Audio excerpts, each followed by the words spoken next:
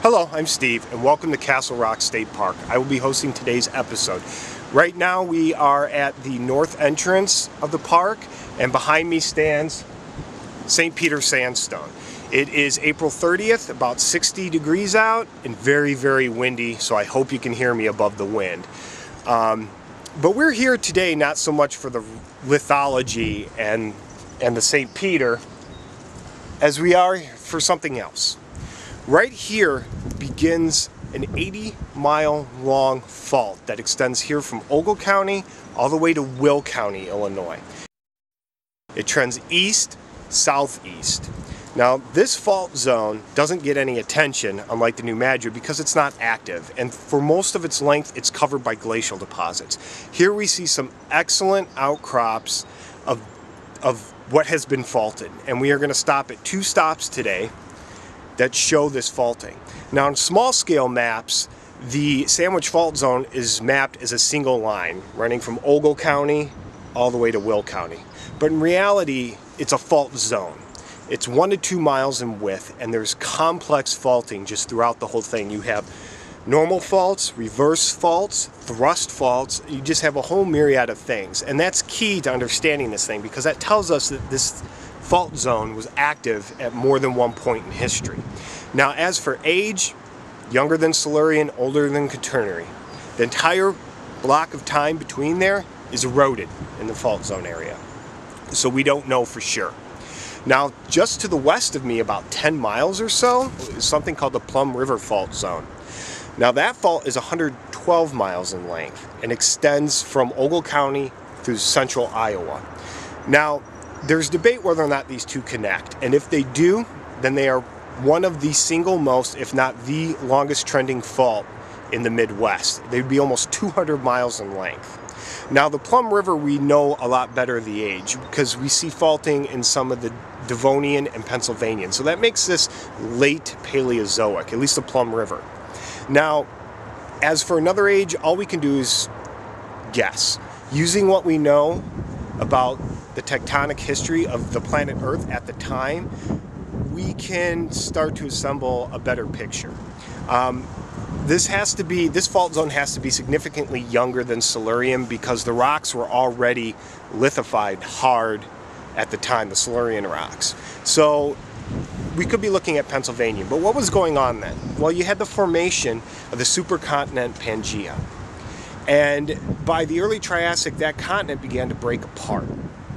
So this, so these fault zones probably began to be formed during the assemblage of Pangaea, and were activated many, many times throughout geologic history as the continent began to break up and form the modern continents we see today.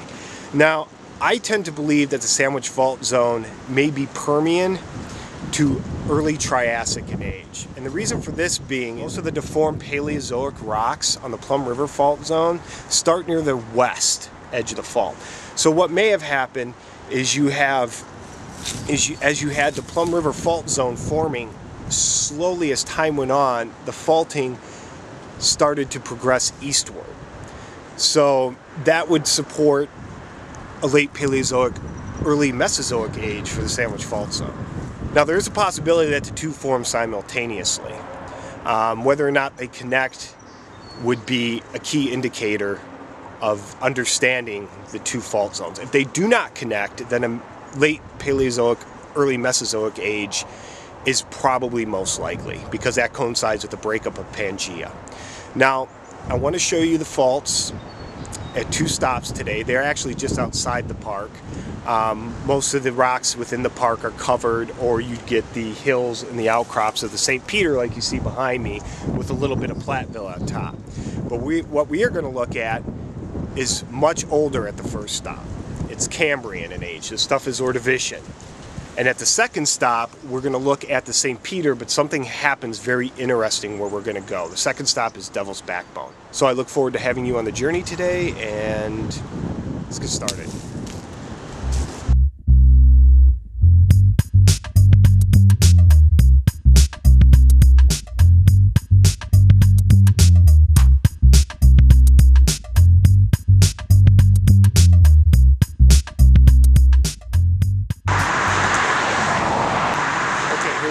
Top 1. Now the picture I just showed you before this is a zoom out of this rock outcrop behind me. Now the reason why I did that is because I am along US 2. I am on the west side southbound of the road and right behind me about 100 feet or so is the Rock River. And it's because of this river, the Rock River, that we have this excellent exposure in this area. Now, this is actually a road cut that you see behind me. And this is significant. I mean, right off the bat, you can see how this sags in the middle, okay? Now, just to the north and just to the south, this sag is not there, okay? Now, if we look at these rocks in detail, we look closely at these rocks, they're carbonate. But there's something interesting about the carbonate. I'll see if I can find a piece here for you to show you. Okay, the carbonate here, you can see by the color, it's kind of yellowish orange. And it looks almost sandy. Like a sandstone, but it's not, it's a carbonate. And what this is, if you look at this in hand lens, what you see is rhombohedral dolomite crystals, small ones, uh, less than a millimeter in diameter. Now that's key in understanding what's going on here, because this carbonate is very pure with the exception of, there's some chert right here. This chert also very pure. Now, back to the rhombohedral crystals. Uh, so what would form these rhombohedral crystals? Obviously they can't be primary, they weren't deposited as crystals in a sea bottom. They would have had to have changed over time for some reason. And the sag is another clue. This sag does dip towards the west a little bit. And if we go due east of here, northeast, is the same type of rock, but it dips slightly east. Now, there's a certain kind of structure that can do that, okay? But before we get there, we know that there's faults here, and it's made up of a lot of little smaller faults within it.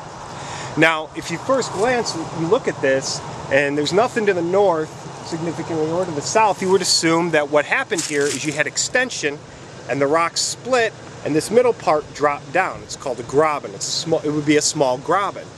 And the sagging beds in the middle would point as to evidence for that. But we have a problem with that assumption. Uh, like I said, to the east, you see the same rock outcrop, but they dip overall to the east. Here they dip a little bit to the west. And there's another problem. In between those two areas, somebody drilled for a water well, to install a water well. And a few hundred feet down, they hit the green sand. The same kind of stuff we've explored at West Salem, Wisconsin. It's the exact same age. So if this was an actual small graben, split and your fall, we would expect this to be Galena Platteville. And we should see St. Peter, but the St. Peter is several hundred feet thick in the area. So at a couple hundred feet down, you hit the Cambrian green sands. That doesn't make any sense. Well, it does if this is not a graben. What most likely happened here, a small thrust fault. And basically, what a thrust fault is, it's a low angle reverse fault. So if my hands represent the flat surface here and a layer of rock, when we get a thrust fault, what happens is this is going to become my fault plane. This is where the breakage is going to occur. We get compressional stresses that push one side up and they begin to bend and then eventually break and go over our fault plane. And if we have this drop down here, dipping west, and in Loudon we have east dipping, that explains it. And it also explains this dip here in the middle. Because this thrust fault wasn't independent or regional. It was bounded on the side, so you have so you have your thrust fault, and then on the sides, you had solid rock, so you had strike slip movement as well. And that strike slip movement would create this dip. So here, although we don't see the sandwich fault zone directly, we can infer what happened from this outcrop and well records. Now, the, our second stop, our next stop, we see the sandwich fault zone in action and have direct evidence of its work.